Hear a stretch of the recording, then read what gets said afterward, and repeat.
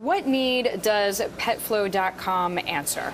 Uh, simply put, it eliminates the chore of pet ownership. Uh, most pet parents have to run out to the store last minute and lug home a heavy bag of food on a regular basis, whether it be three weeks or four weeks.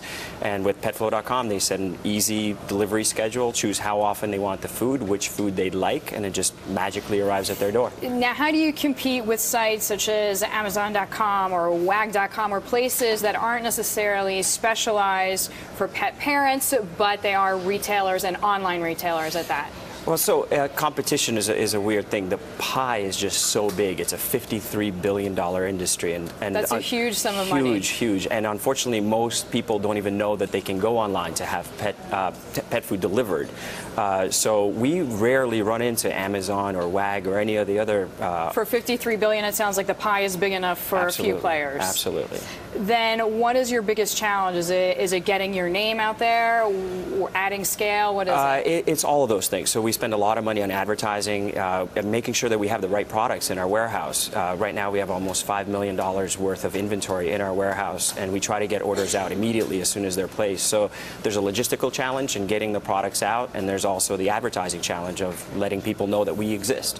What about the funding? So you are self-funded. You also have taken outside capital. Uh, I know you're thinking about accepting more outside Absolutely. capital.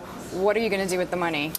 Uh, it's uh, increasing our inventory, spending more money on user acquisition, on advertising, making more people aware that uh, that we exist, hiring more qualified staff. We're in New York. It's a tough uh, tough market to find qualified people.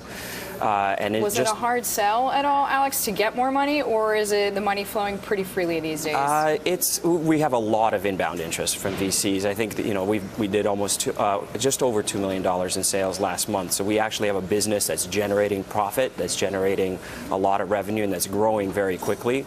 Uh, so the, there's been a lot of interest, but you know it's it's still a challenge. You still have to convince people to give you money. And I know one thing that you've been doing more on the product side has been not off just offering pet food, but there's also pet products. And Correct. I know you said there was at one point a link where that went out through Facebook, right? Where it says, yeah. is your pet anxious? Yes. And then people clicked on that and then got sent to your yeah, site. So we, we, have, we just posted a question. Do you have, a, do, does your pet have anxiety?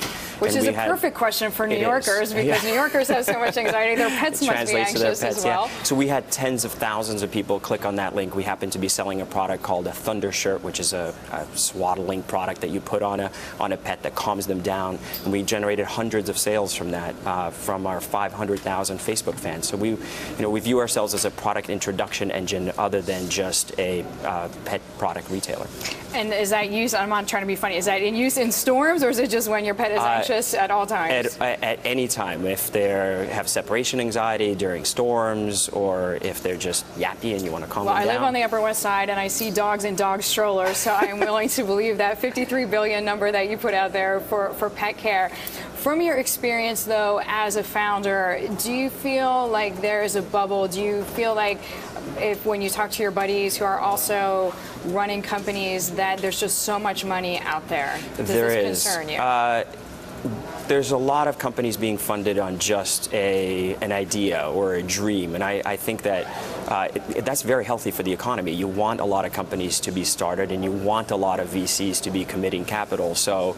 Um, in terms of a bubble, I think it helps the economy, even if it is some sort of a bubble. So it, I don't think it's a bad thing. Interest does not necessarily mean a bubble. Exactly.